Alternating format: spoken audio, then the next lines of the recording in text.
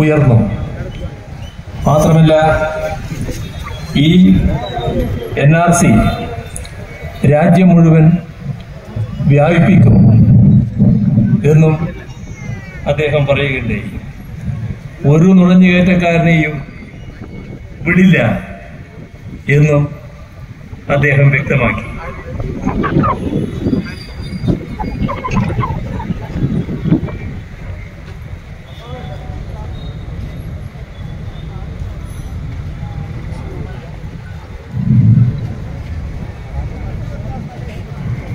ഒരു നുഴഞ്ഞുകയറ്റക്കാരനെയും വിടില്ല എന്ന് പറഞ്ഞാൽ ആരെയാണ് ഉദ്ദേശിക്കുന്നത് എന്ന് എല്ലാവർക്കും വ്യക്തമാണല്ലോ.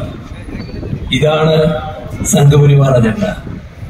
ആ അജണ്ട നടപ്പിലാക്കാനാണ് ആഭ്യന്തരമന്ത്രി തയ്യാറായത് ആ ഭീഷണിയാണ് നിരവധി തവണ അദ്ദേഹം